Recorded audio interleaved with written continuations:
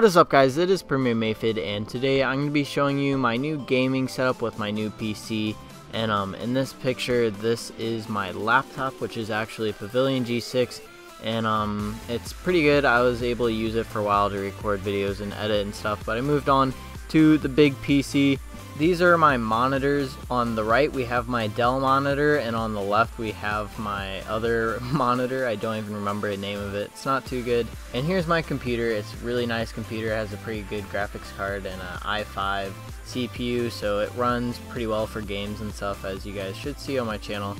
And here's my keyboard. I have a Perixx backlit keyboard and it's really nice. It changes from red, blue, and pink and um, you're able to adjust brightness and it's just a really nice mechanical keyboard.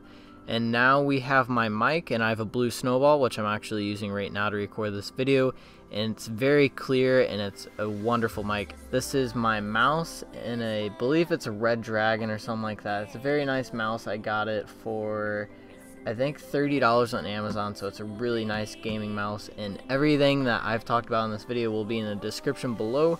Now we have my PS4 and my amp and my Xbox and my charter box, and basically those are all pretty self-explanatory, but I have a pretty nice amplifier. It's hooked up to a 7.2 sound system, and I have a, I think a 56 inch Sanyo TV and I've never really heard of Sanyo, but it's a really nice TV. It does 1080p, and it's really good. Next, we have under my desk. My desk is pretty clean under it. It's a really nice desk. It's a big L desk, and um, you'll see some boxes. Those are parts to my computer.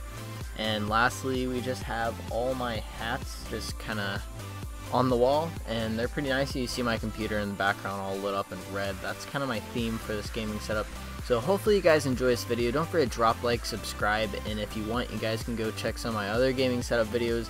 Before I had this nice PC those are pretty funny to watch. See you guys later and peace out